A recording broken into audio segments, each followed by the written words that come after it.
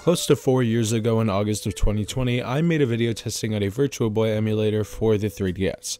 I had seen others test that same emulator out with moderate success, but none of the ROMs I played worked and or had major graphical glitches, which led me to believe the emulator was bad and I haven't tried it since. But just a few days ago, someone by the name of Skyfloogle on GitHub released a new Virtual Boy emulator that touts a lot more features than the old one. It can apparently run every official Virtual Boy game at full speed and let you configure the controls. It's called Red Viper and the GitHub release has 3DSX and CIA versions.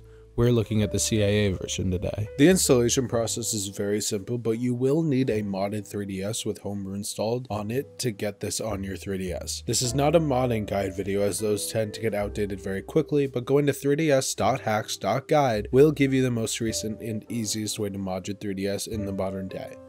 As I was saying, installing this is very easy as you just need to drag and drop the CIA file into the CIA's folder on your 3DS or the Nintendo 3DS folder if using the 3DSX version. Next, install it onto your 3DS via FBI and you should be all good. Just launch it from your home screen and make sure you have Virtual Boy ROMs on your 3DS in some folder somewhere so you can play them.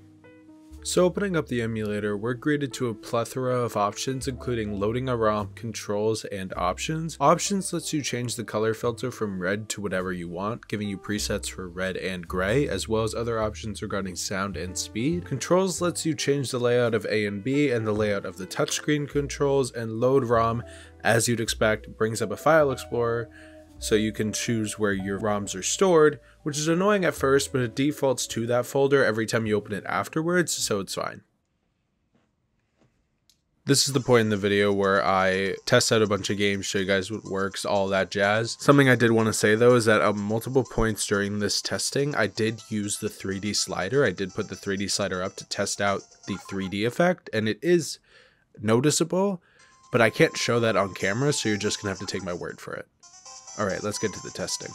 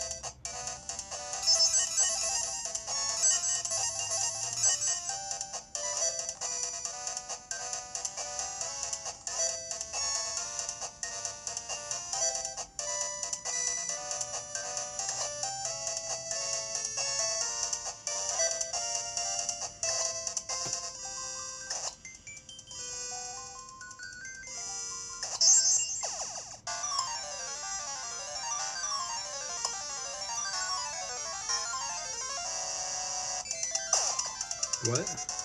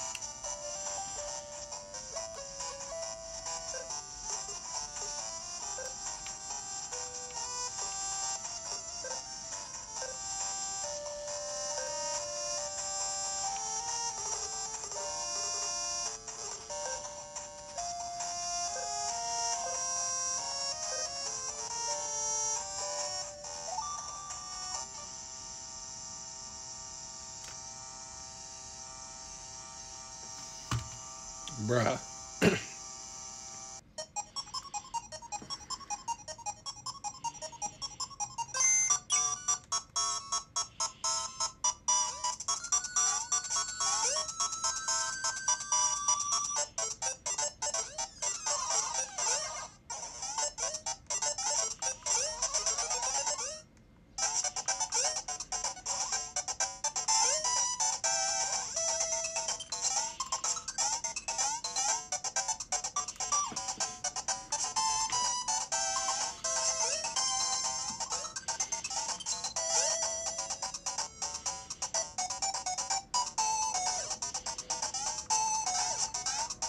I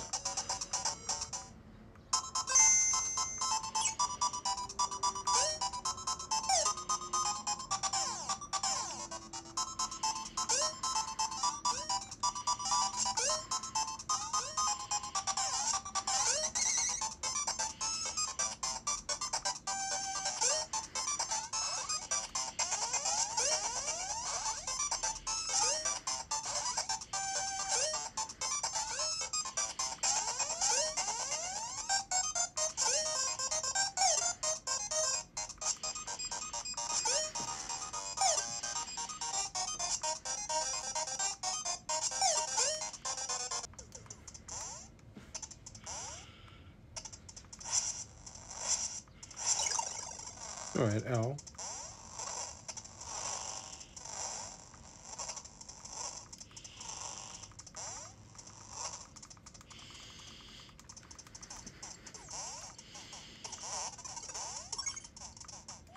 Don't. The heck?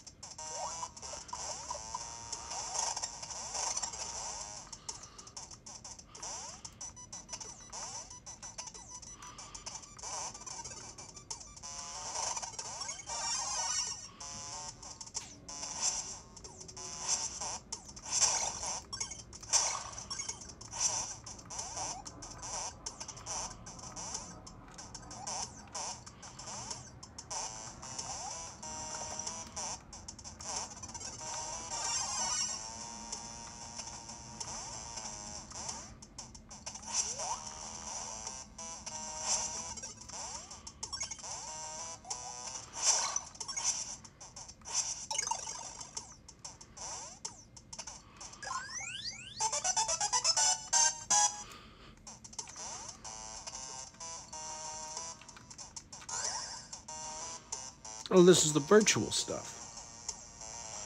Depth. Let's change the color filter to gray. See how that works.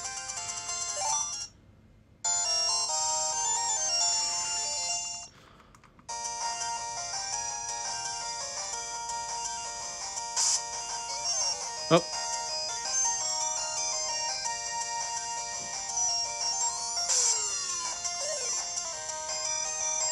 Damn, I suck.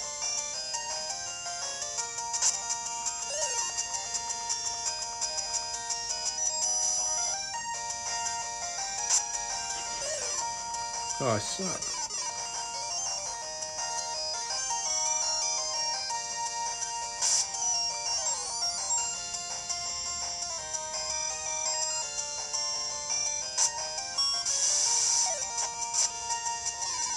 Damn. I think the white, the black makes it easier to see.